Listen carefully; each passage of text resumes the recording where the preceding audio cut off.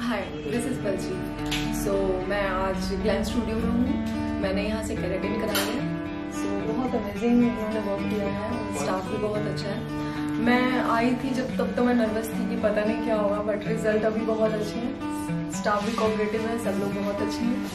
Thank you for Glen studio thank you to also thank you